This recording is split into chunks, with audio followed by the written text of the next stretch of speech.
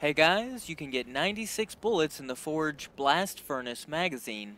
You need extended mag with Ambitious Assassin and a backup mag mod. Then get some rapid kills and reload. Now you have a magazine bigger than machine guns. Machine guns magazine size are capped at 75, so having a backup mag mod plus extended mag serves no purpose on machine guns. But pulse rifle magazines don't seem to have that cap. The god roll for this weapon is Rampage and Feeding Frenzy.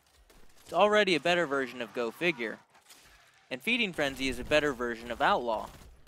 We even have a Rampage mod.